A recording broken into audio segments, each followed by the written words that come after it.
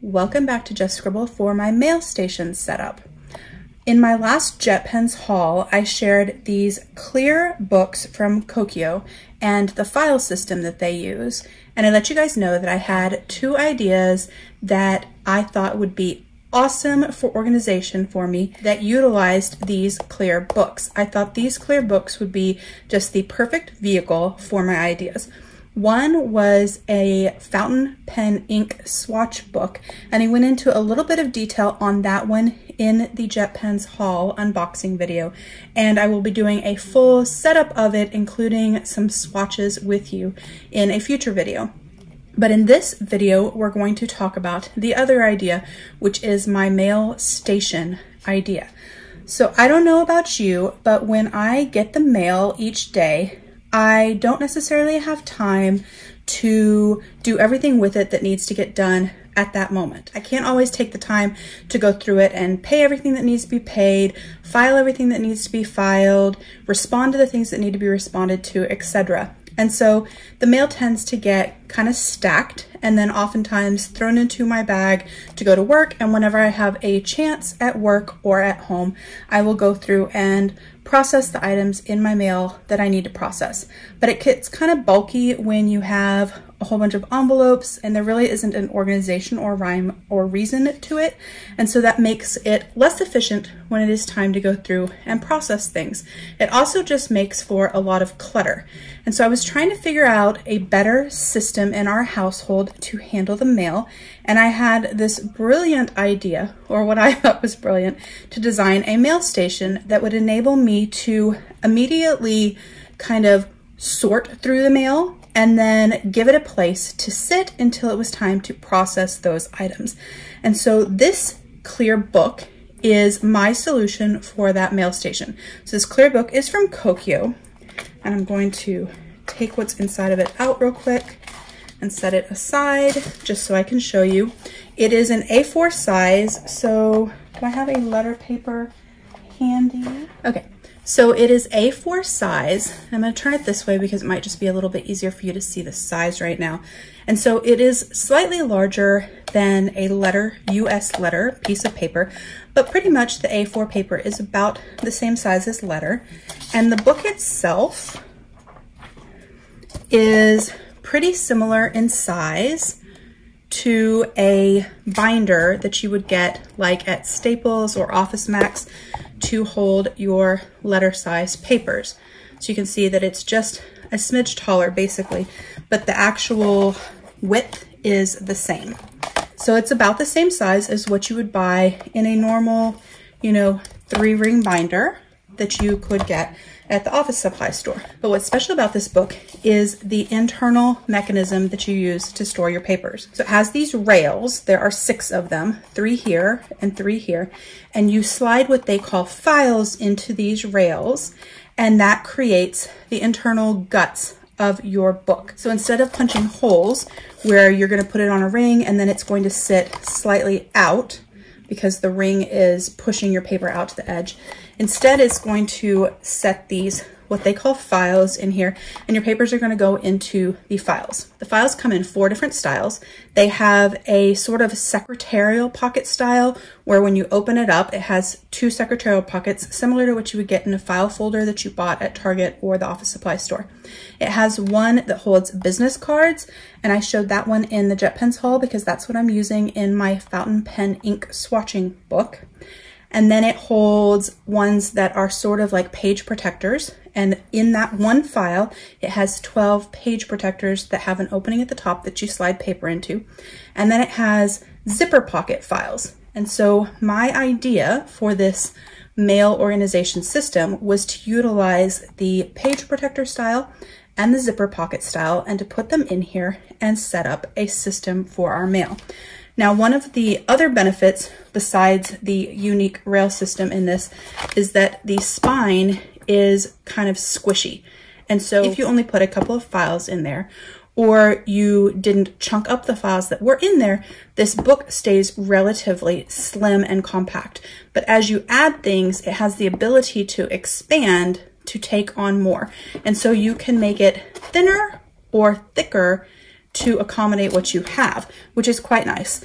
and it's slim overall, even at its thickest spot and kind of squishy. So it's easy to transport if you do take your mail system to work to process things, or if you are leaving it out on your kitchen counter or in your home organization center that you keep in your kitchen area. So in order to have a mail system, I decided that we need that I needed to have five main sections of organization. I needed to have things that needed to be filed away, like your property tax receipt or something for your income tax return. A section for shredding, so for things that you don't want to throw into the trash without shredding them. Things to pay, which in my mind is kind of things to pay or deposits. So if you had checks that you needed to deposit at the bank or you needed to pay a bill, both of those things are kind of to pay financial section. Then to journal, so things that you wanted to keep as ephemera or tip-ins for your journal, and things to respond to. So letters that you need to respond to, an insurance issue that you need to call them up about, a wedding invitation that you need to RSVP to, things like that. And so I decided that's the five main organization areas that I need when I go through my mail.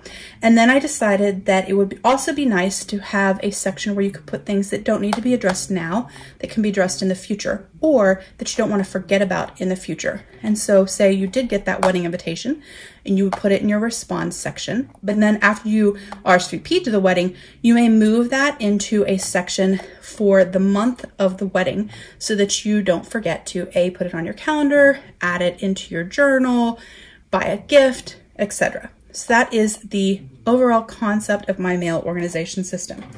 So what I have done is I bought the zipper pouches, five of them for the five main categories that I decided I needed for sorting my mail. And I did take vinyls that I cut on my Cricut Maker and put them on the top. You don't have to do that. You could use a label maker. You could not label them at all. You could do it with a permanent marker, whatever works best for you. But I labeled each section so I would remember what the sections were. And then they zip open and you can put your mail items in there. So I have one for responding, one for journaling for your ephemera, one to pay, one to shred, and one to file. And so what I'm gonna do is I'm gonna put these in here and then I have my sixth one, which is the page protector one that I put labels at the top for each month. And so that way I have a place if I need to put something into a future spot it has the months on there and I can go ahead and just stick it in there. And when I go through to process my mail, I can go to the current month and grab anything that I might need that I may have filed away in a previous month. I really hope this makes sense. So we are going to put this into my file. So I am going to put these in an order that makes sense to me.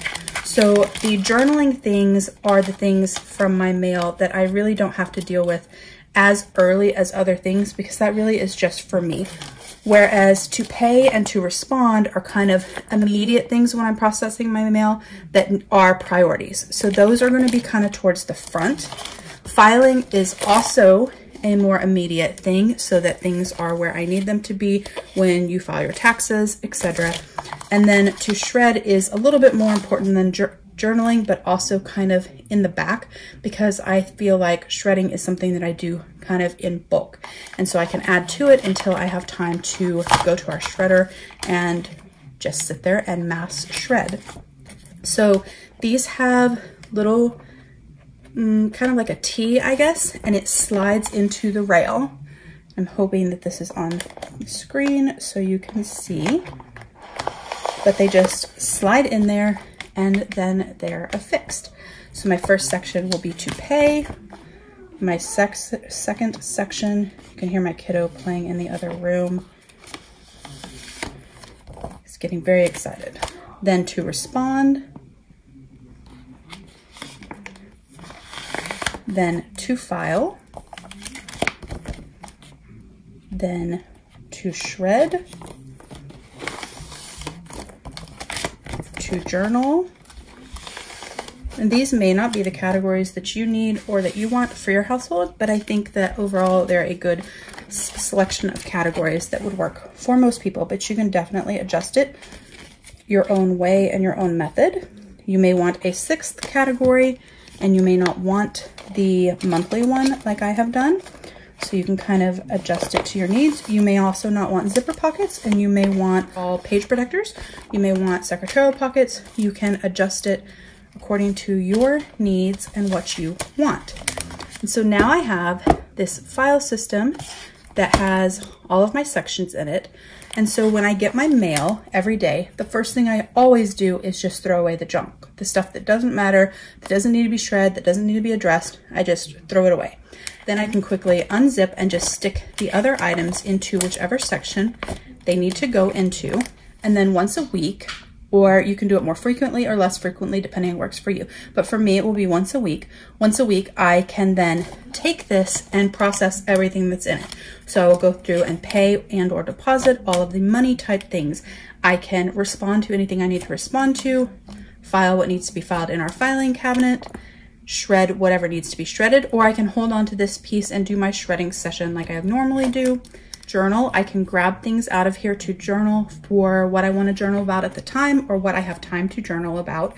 And then I can leave the other things in here until I have time to get to them or until they are appropriate to add to my journal. And then I can go to the particular month that I am, am in, which right now is June, almost July, and I can address anything that is in the monthly section that I need to address and I'm done. And if I take it to work to do this, it is quite small and it's perfect to fit into my totes or my backpack that I carry to work with me. So that is my mail station. I am probably going to take out this little card here that has the brand on it that says Kokuyo and talks a little bit in Japanese about the system. I'm going to take that out and instead label it with something that says mail station. I may put mail station in our name. I have not decided, but that is my mail station that I wanted to share with you. I really think that this is going to be a super helpful tool to just help us reduce paper and clutter and stay more organized in our household. And I'm super excited about it. I'm glad to have it set up. I'm really excited to share it with you guys. You could do a similar concept with other things within your household or at work and I just think it's an awesome system. If you have any questions, comments, or suggestions about anything that I talked about in this video, please don't hesitate to comment below. I will get back with you. Make sure you give me a thumbs up if you liked this video because that does help my channel grow. Make sure you're subscribed so you don't miss future videos, and don't forget to just scribble.